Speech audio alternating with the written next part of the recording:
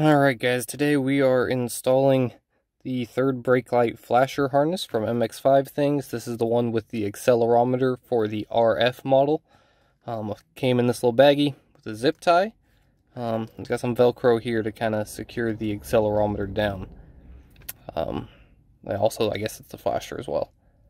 But uh, let's see what we can do. I know in order to start, we need to get behind the uh, behind the seat up underneath the, the RF top Let's go ahead and start the car and uh, we're gonna lift the top to the point where it comes all the way up, but the top doesn't come down yet.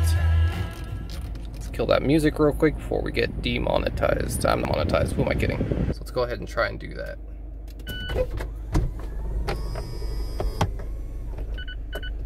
I think that's, that's all she got right there, that's perfect. With the car off now, we're gonna go ahead and locate this harness right here. It'll be basically right behind the driver's head when the, the top is down. So if we kind of zoom in, you can see this, this little clip right here. So I'm gonna take my, my handy dandy Leatherman. Let's see if I can do this one-handed. Looks like maybe going from the other side would be a better option. Uh, but we got it.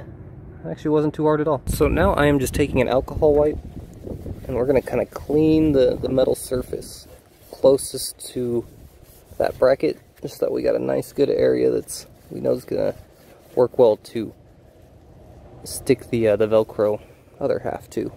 Alright so as you can see we've attached the loop portion of the velcro there. We're gonna go ahead and take our new harness and snap it right into there. Perfect fit. Uh, let's go ahead and secure this guy. So make sure you get it lined up. There we go so yeah, looks like we've got plenty of room. Next we just need to pull this plug. Yeah, not happening one-handed.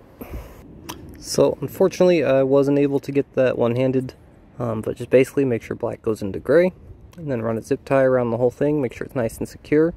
Um, make sure your top goes up and down without it interfering with anything. I'm going to do that and then trim this edge off.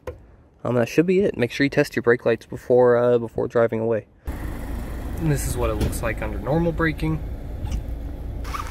This is what it's going to look like under heavy braking. So there it is. Um, hopefully this will save me from getting rear-ended one day. Otherwise, um, do the stereotypical YouTube thing. Make sure you like, subscribe. I am getting a better camera. I'm going to do some more ride-alongs. I'm going to do like a, a one-month ownership. Kind of try and get a little bit of a series going here. Um, as always, any questions, any comments, leave them in the comments below. I'm going to put the link to the brake flasher uh, in the description. Um, see you soon.